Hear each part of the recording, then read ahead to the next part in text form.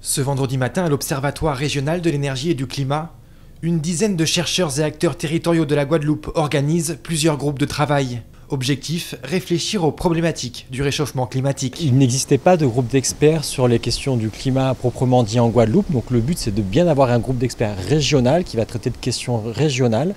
Et euh, tout l'objectif de ce groupe, ça va être de mettre à disposition la connaissance scientifique et technique à destination du grand public, mais aussi euh, des élus et de toute personne intéressée par ces questions de l'impact du changement climatique sur nos sociétés guadeloupéennes. Plus que jamais, tenter d'atténuer le bouleversement climatique inéluctable est devenu une nécessité en particulier en Guadeloupe, où la biodiversité est riche mais fragile. Cette biodiversité, elle est tout à fait exceptionnelle et nous sommes sur un territoire exigu avec donc des conditions qui permettent son expression en termes de variation géologique, en termes donc de d'étagement avec le relief, puisque la Guadeloupe constitue le le, le 3 des petites Antilles, mais effectivement des populations qui sont très réduites, qui sont avec des effectifs très faibles et de ce fait fragiles, de ce fait donc vulnérables. Il faut tout à fait que la gestion de, cette, de ces activités, notamment touristiques, ne mette pas donc en péril ou ne rende pas plus vulnérable la biodiversité et la population puisqu'elle constitue le cadre de vie euh, des îles.